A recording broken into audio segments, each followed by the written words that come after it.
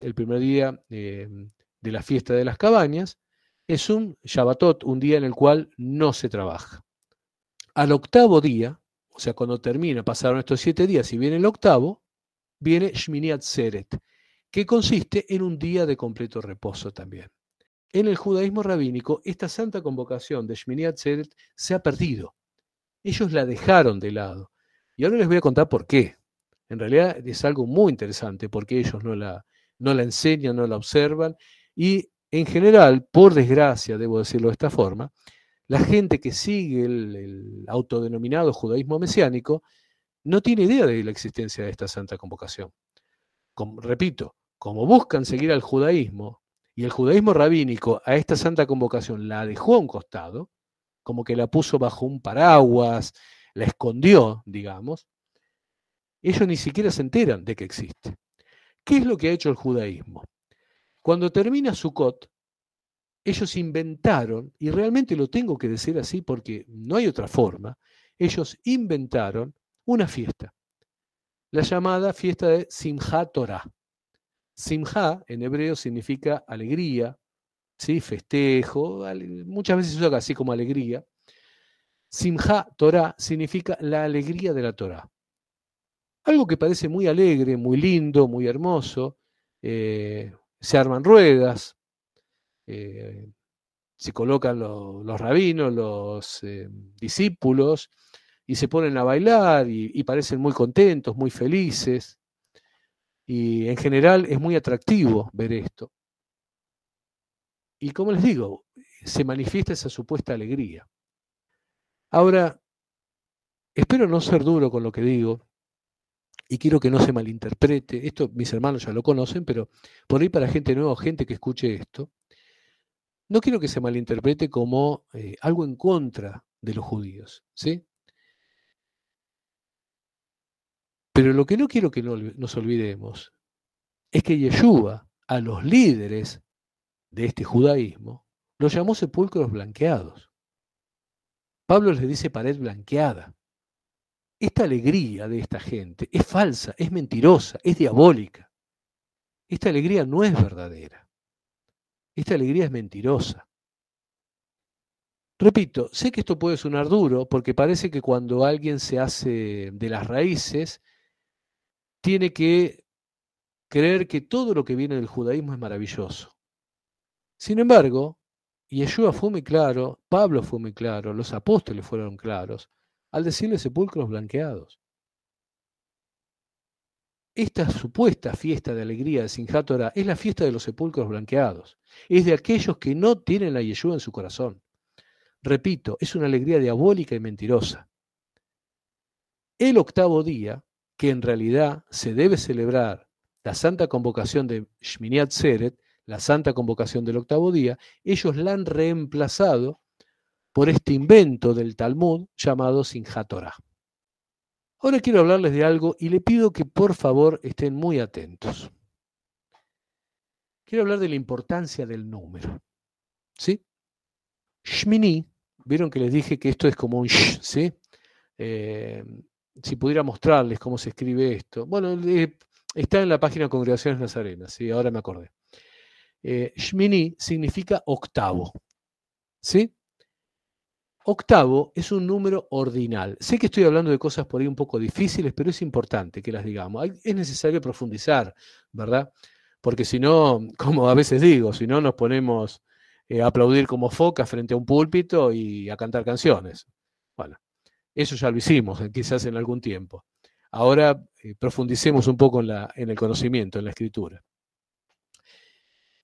La palabra Shmini, octavo, es un número ordinal. Cuando hablamos de números ordinales, nos estamos refiriendo a orden, ¿sí? O sea, que está ordenado con relación a algo. Si hay un número octavo, esto quiere decir que hay un número primero. O sea, hay un primero, segundo, tercero, cuarto, quinto, sexto, séptimo, octavo. ¿Sí? O sea, entre un primero y un octavo hay una conexión. Por eso Levítico 23:36 dice el octavo día. ¿Por qué dice el octavo día? Porque el versículo 35 dice el primer día. O sea, hay una conexión entre el primer día y el octavo. ¿Sí?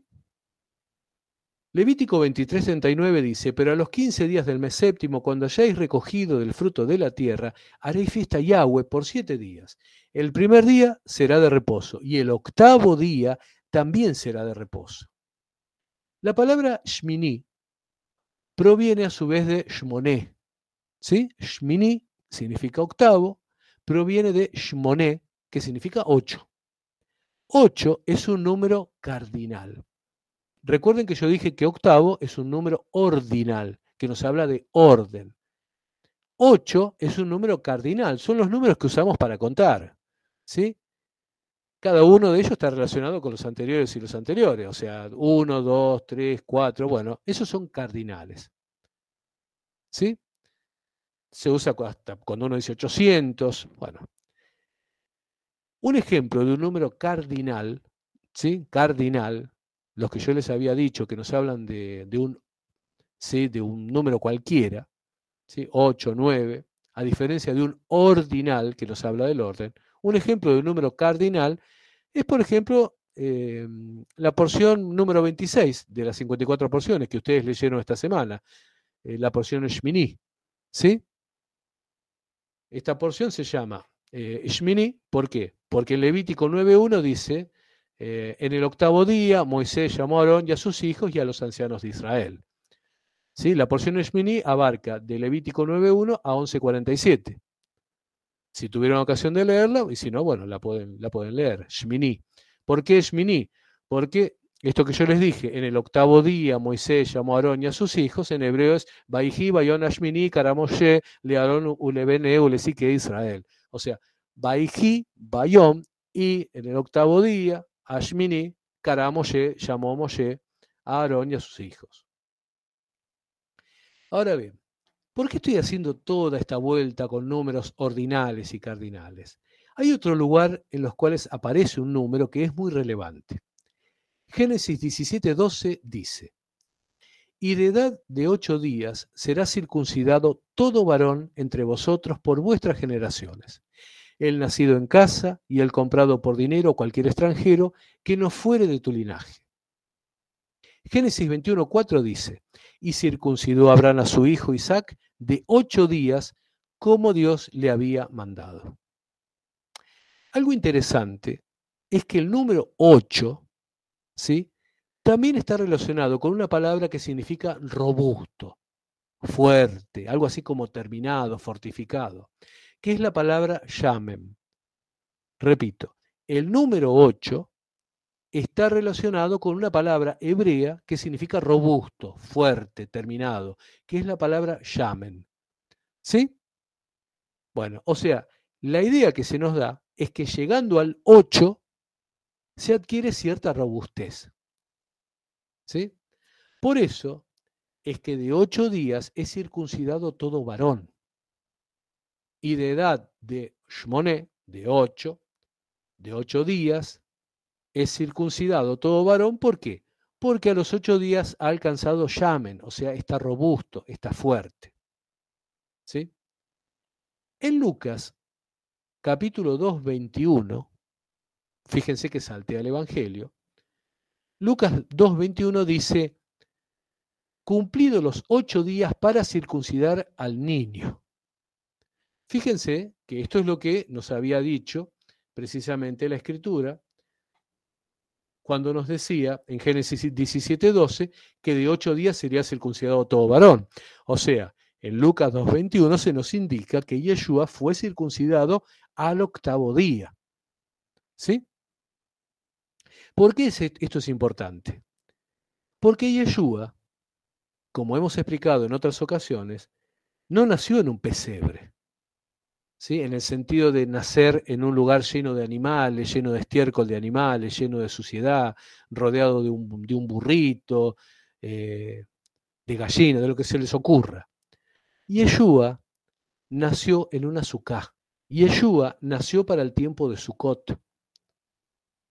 Como no había lugar en la casa y el tiempo era propicio, Miriam tuvo a su hijo en una sucá que se había construido precisamente para la santa convocación de Sukkot. Y luego, el niño, Yeshua, el hijo amado de Dios, siendo un bebé, un niño recién nacido, fue colocado en el pesebre, entendiendo esto como ese, mm, esa especie de cuna, ese receptáculo, ese comedero que utilizaban los animales. Ustedes saben a qué me refiero, ¿sí? Eso se acondicionó y se hacía muchas veces, ¿eh? en, tiempos, en tiempos bíblicos, se utilizaba esa especie de comedero de los animales, se limpiaba bien, se le agregaba paja, se le agregaban eh, ropas y se acondicionaba y se transformaba en cuna. Ese es el pesebre en el cual él fue colocado, no que nació en un pesebre entendiéndolo como el lugar donde están todos los animales y duermen. Él no nació entre animales, eso es una imagen diabólica. Y tengo que decirlo con todas las letras. Díganme, ¿a quién le puede interesar sino al maligno dar una imagen de que el Hijo de Dios nace en un lugar sucio con animales durmiendo alrededor? No es una imagen santa, no es una imagen kadosh. Es una imagen que quizás en una mente occidental puede dar una idea de humildad, puede dar una idea de, de que se hizo siervo, puede dar un montón de ideas, pero es falsa. El Hijo de Dios no nació en un lugar rodeado de animales. El Hijo de Dios nació en una azúcar, porque así correspondía que fuera. Y fue colocado en ese, en ese lugarcito que algunos llaman pesebre, o en realidad el comedero, que se limpiaba y se acondicionaba y se utilizaba muchas veces como cuna. Fue colocado ahí. ¿Y cuándo nació? Cuando vemos la escritura, nos damos cuenta que él nace el primer día de Sukkot. Entonces, ahora ustedes van a poder ver la gran importancia que tiene la santa convocación de Shmini Atzeret. Porque fíjense que él naciendo el primer día de la santa convocación de Sukkot, Lucas 2.21 que nos dice, cumplido los ocho días para circuncidar al niño, ¿qué nos está diciendo esto? Que la circuncisión de Yeshua acontece precisamente al culminar Sukkot, al otro día de Sukkot, lo cual es que Shmini Atzeret, la santa convocación de Shmini Atzeret, la santa convocación del octavo día. Hay otros lugares donde podemos encontrar referencias a esta santa convocación. Yendo a Nehemías, por ejemplo, capítulo 8, 18, dice, y leyó Esdras en el libro de la ley de Yahweh cada día, desde el primer día hasta el último, e hicieron las fiestas solemnes por siete días, y el octavo día fue qué? Fue de solemne asamblea según el rito. ¿Qué corresponde hacer en Shmini Atzeret? Bien, ya hablamos acerca de que Torah es algo inventado, esta supuesta alegría de, los, eh, de las personas que no tienen a, a, Yeshua en su corazón, que no tienen a Jesús en su corazón, es un invento que debe ser desechado, como todo invento talmúdico. Pero ¿qué es lo que corresponde hacer en el día de la santa convocación del octavo día? Bueno, en este día no se puede habitar en la Sukkah. ¿Por qué? Porque Sukkot dice habitar siete días.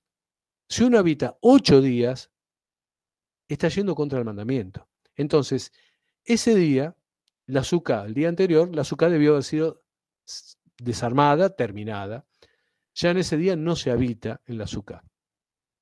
Obviamente que si fuésemos nómades o, estamos, o somos gitanos y vivimos normalmente en tienda, bueno, vamos a seguir viviendo en la tienda, pero ya no sería en el cumplimiento del, del mandamiento.